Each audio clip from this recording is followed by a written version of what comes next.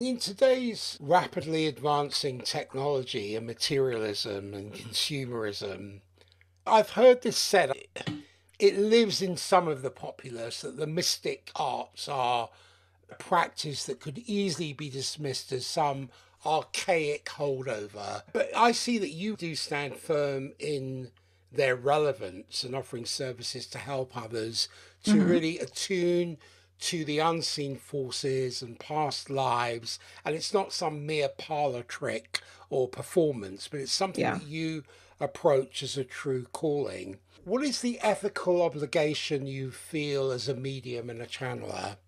You have to go about your readings in a compassionate way. So, no matter what or who comes through, you have to think about how who the person is, what the message is, how that's going to affect the person you're reading for. Mm. For example, there's lots of times where when I'm doing an evidential reading, a person comes through who was an abuser or someone who was not pleasant to the person I was reading for, that I'm reading for. When I see that and I sense it, I have to ask them if they even want to hear from that person. And sometimes they say no, and sometimes they're like, no, I need to hear that. That's what they're going for. I need to heal this.